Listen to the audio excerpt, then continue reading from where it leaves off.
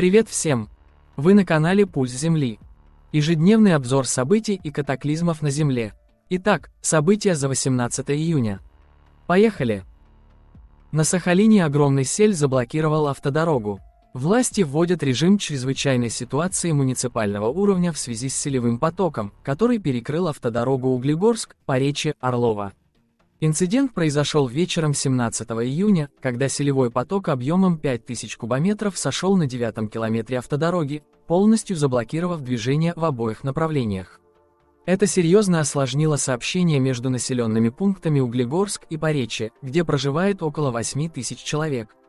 Объездных путей нет. Последние несколько дней на Сахалине шли сильные дожди и дул сильный ветер, что, вероятно, и способствовало сходу селя.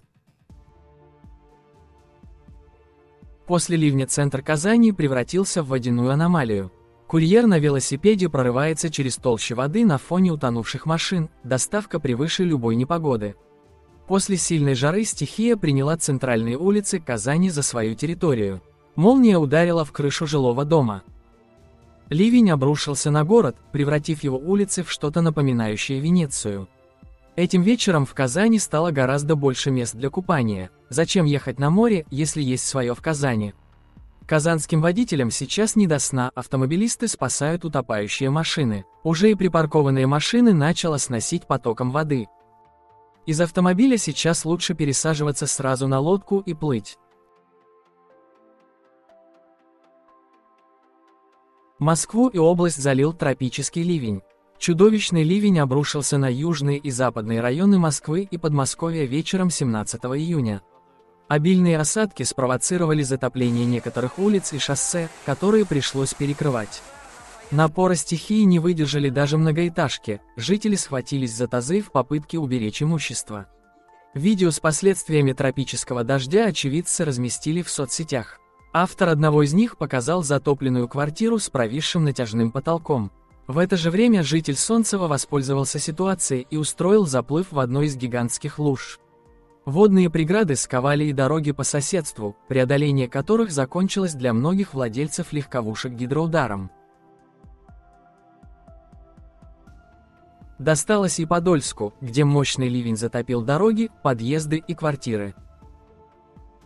А в Апрелевске наблюдался ураганный ветер. Максимальные порывы составили 25 метров в секунду. Последствия буйства стихии вы можете видеть на своих экранах.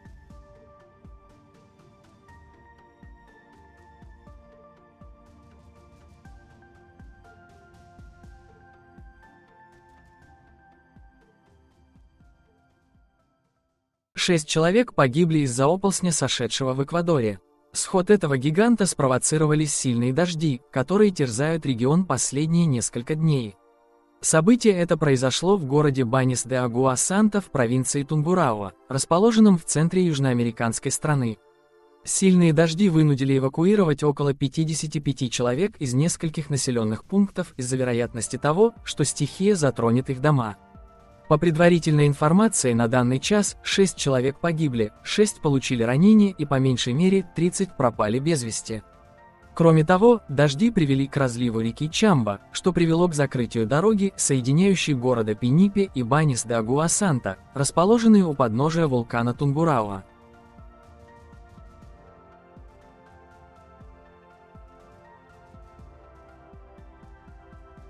В Кировской области наблюдался шквалистый ветер. В одной из деревень сносило крыши и валило деревья. В результате порывистого ветра в деревне Чуваши Кирова-Чепецкого района с одного многоквартирного дома унесло часть кровли, были повреждены хозпостройки граждан, повалены деревья. Никто из жителей не пострадал. На данный момент устраняются последствия буйства стихии.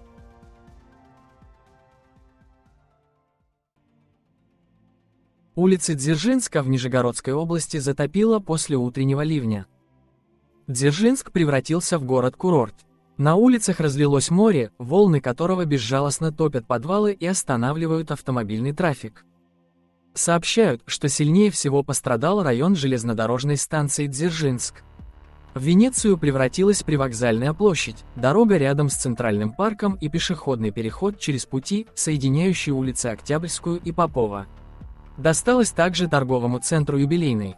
Сотрудники собирали воду швабрами и тряпками.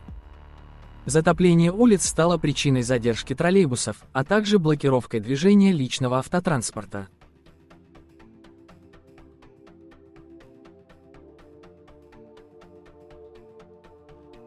Во Флориде был замечен водяной смерч, который впоследствии вышел на сушу и успел нанести повреждения инфраструктуре. Этот смерч приземлился в Кристалл-Ривер, повредив две рыбацкие хижины и несколько других построек.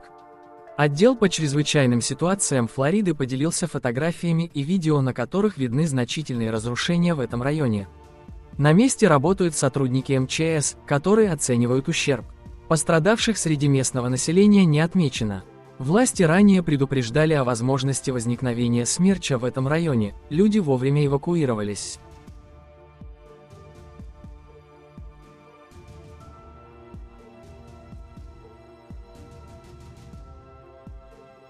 В селе Горяйновка городского округа Саранск во время урагана сдула крыша. С детского сада 93 упала кровля. По словам очевидцев, дети спали, когда это произошло. Кроме того, с соседнего здания сорвало крышу на забор детского сада. Повалило дерево возле памятника. Частично разрушена кровля Горяйновской школы.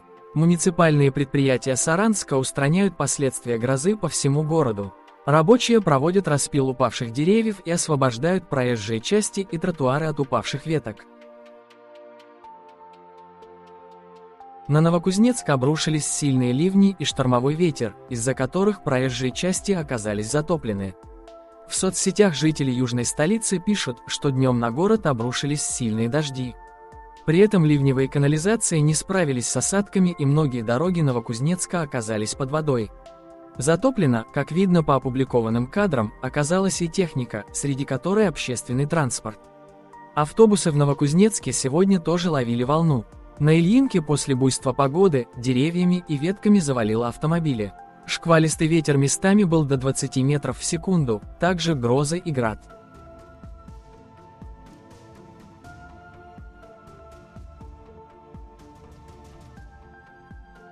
Этому городу конец. Вулкан уничтожил исландский город Гриндавик. Вулкан Фаградальсфедли извергается уже в пятый раз с прошлого декабря. Теперь Гриндавик – город-призрак. Люди полностью покинули его, а все дороги к нему затопило лавой. Недавно последняя дорога к нему была уничтожена потоками раскаленной плазмы. Сейчас добраться до города нет никакой возможности, однако благодаря дронам энтузиасты и исследователи сделали немало эпических фотографий с места природного катаклизма. Увидеть извергающийся вулкан с такого расстояния раньше было абсолютно невозможно, но современные технологии позволили людям наблюдать за извержением с безопасного расстояния.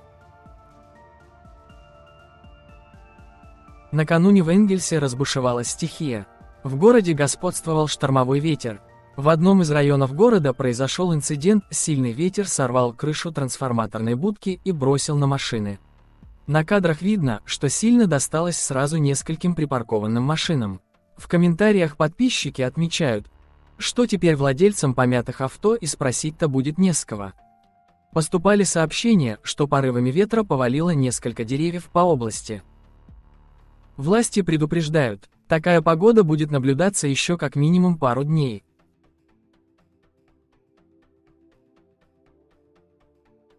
Мощный ураган пронесся по одному из районов Башкирии. На кадрах село Целинный в Абзелиловском районе. Село Целинный за последние 10 дней второй раз оказалось в эпицентре урагана. Ливневый дождь с разрушительным ветром вновь обрушился на село. Местами прошел град. Стихия принесла разрушение, снесло крышу спортзала школы, а также в частных домах и двухэтажках. Обрушились электрические столбы, село осталось без света. Удар стихии приняли и близлежащие деревни Булатова, Альмухаметова и Жбулдина. Там также рухнули электрические столбы, повреждены надворные постройки в частных домах. Градом побило не только огороды, но и весь сайдинг на домах.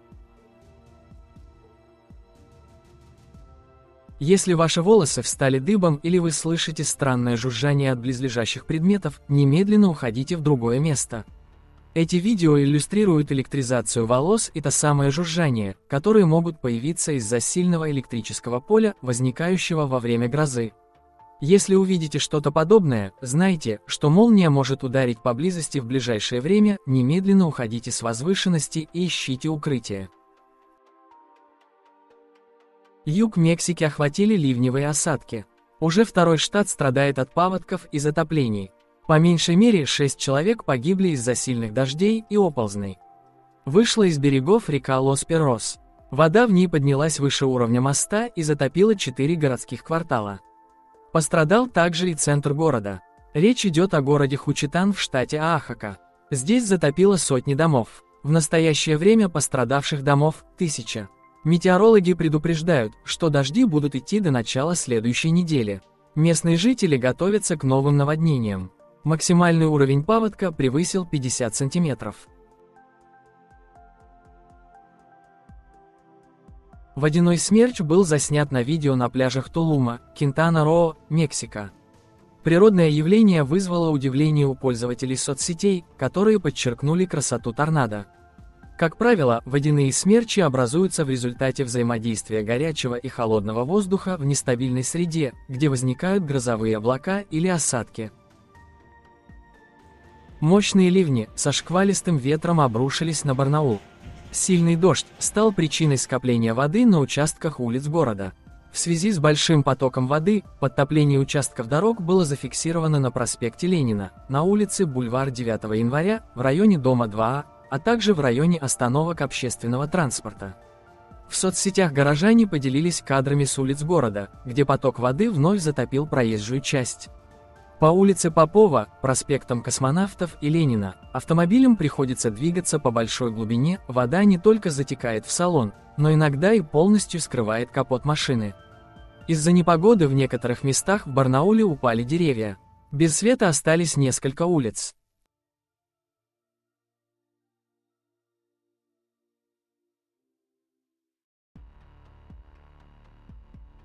В некоторых частях Альберты наступила зимняя погода. В то время как Восточная Канада страдает от жары и влажности, в некоторых частях Запада наблюдается снег и морозы. Нынешний погодный режим зафиксировал верхний минимум над прериями с впадиной, которая простирается до некоторых частей Айдаха и Монтаны. Такое низкое давление приводит к снижению температуры в Калгари ниже сезонного и повторяющемуся риску несильных гроз во второй половине дня. Предгорьях и на возвышенностях возможны снег и мокрый снег в сочетании с более низкими температурами. Сильные дожди привели к существенному повышению уровня воды на 22 реках в Гуанси-Джуанском автономном районе на юге Китая. Крупнейшее за последние десятилетия наводнение произошло, в частности, на гидрологической станции Хэчжоу на реке Хэцзян. На город Цишуй в Гуандуне всего за 24 часа обрушилось 369 мм осадков. Власти повысили уровень на реагирование на чрезвычайные ситуации, в эвакуации и доставке грузов пострадавшим были задействованы вертолеты. В соседней провинции Фудзянь из-за экстремального ливня погибли по меньшей мере 4 человека, еще два человека пропали без вести. Многие южные районы Китая за последние дни пострадали от проливных дождей. В Чунцине в результате интенсивных осадков уровень воды в пяти реках поднялся на 3 метра. За прошедшие сутки на Земле произошло 166 землетрясений с магнитудой равной 2 или более. Землетрясения с магнитудой равной 4 или более произошли в 19 странах. В каких именно, вы можете посмотреть на своих экранах. Спасибо вам за просмотр выпуска. Спасибо за внимание. До завтра.